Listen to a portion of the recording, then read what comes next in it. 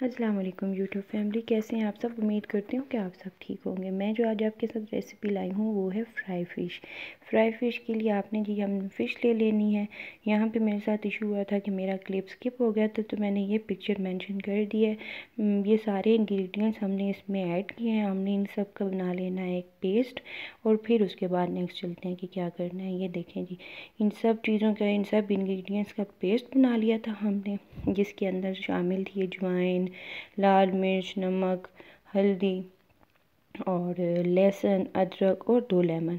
इन सारे चीज़ों को अच्छे तरीके से जी हमने सिलबट्टे पे पीस लिया था। आप ग्राइंड कर लें पेस्ट बनाना मेन मकसद है आपका।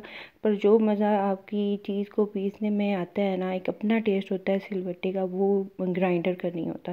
खैर, ये सारी चीज़ें हमने कर ली थी जी मिक्स और इनका बना लिया था पेस्ट उसके बाद अच्छे तरीके से ये सारी फ़िश जो ली हमने, उनको हमने इसके अंदर ऐड किया और बारी बारी उनको डिप करते गए और अपनी ये फ़िश मैरिनेट कर लिए हमने इस फ़िश को तकरीबन तकरीबन चार घंटे के लिए मैरिनेट किया था। हमने शाम में ये बनानी थी रात के टाइम बनानी थी तो हमने इसको दिन के टाइम पे अच्छे तरीके से मैरिनेट कर दिया था। ये देखिए, इसका कितना खूबसूरत कलर आया। जैसे वो मैरिनेट हो चुकी है तो अब हमारे फ्राई करने का टाइम था तो माशाल्लाह से गैस जो थी, वो हमारे मुल्क में उस टाइम पे हमारे एरिया की जा चुकी थी।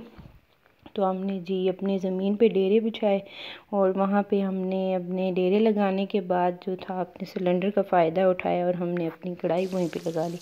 जैसे ही हमारा ऑयल गर्म हुआ है तो हमने जी उसके अंदर फ़िश ऐड कर ली है और बस हम उसके अंदर जी बारी बारी डालते जाएँगे और अपनी फ़िश को फ्राई करते जाएँगे। जिन इंग्रेडिएंट्स के साथ जी हमने फ़िश बनाई है फ्राई किया आप भी ज़रूर ये ट्राई करिएगा और मुझे कमेंट बॉक्स में ज़रूर बताइएगा कि आपको मेरी आज की रेसिपी कैसी लगी। और आपने इसमें भी एक अहम बात का ख्याल रखना है। आ, हमारे यहाँ मोस्टली जो आती है जी फ़िश आती है उसके ऊपर ऑलरेडी मसाला लगा के वो देते हैं। वो लगा हुआ होता है और हमने इसको वॉश नहीं करते। हम इसको एक कॉटन का कपड़ा लेते हैं और उसके साथ उस फ़िश को अच्छे तरीके से अंदर से बाहर से साफ़ कर लिया जाता है और उसके बाद ऑलरेडी लेमन और सिरके इसमें ऐड करते होते हैं तो वो जो उसका अपना, वो जो अपना टेस्ट वो जो एक आती होती है उसकी स्मेल वो नहीं आती। तो आप इस दफ़ा जब ये फ्राई करें तो आप मेरी ट्रिक के साथ ज़रूर करिएगा। वो आपको देखिएगा कि कितना फ़ायदा होता है। मछली जो है वो पानी भी नहीं छोड़ती, आपका जो पकौड़ा होता है, फ़िश का जो होता है, जो फ्राई कर रहे होते हैं, वो बहुत क्रिस्पी बनता है और जूसी बनता है। तो इस दफ़ा आपने जिस तरह मैंने आपको बताया है, उस तरीके से ज़रूर ट्राई करिएगा और मुझे बताइएगा कि पहले जो आप बनाते हैं, उसको वॉश करके और इस तरह बनाने में क्या फ़र्क फील हुआ और कैसी बनी।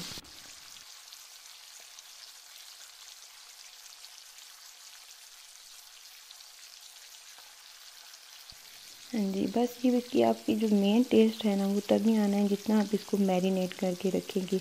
तो बस आपने इसकी मैरिनेशन जो है वो टाइम से बहुत पहले कर लेनी है। एटलीस्ट इसे चार एक घंटे मिलें इसको मैरिनेशन के लिए बस। उसके बाद तो बस ऑयल गर्म होना है और इसको बारी बारी आपने फ्राई करते जाना है और आपकी ये फ़िश अच्छी सी यमी सी तैयार हो जाएगी। इसको आप बनाएँ, अपनी फैमिली गेट टुगेदर्स में बनाएँ, अपनी ईद पे इसको ट्राई करें और इन्जॉय करें। और मुझे ज़रूर ज़रूर बताइएगा कि आपको मेरी आज की रेसिपी कैसी लगी।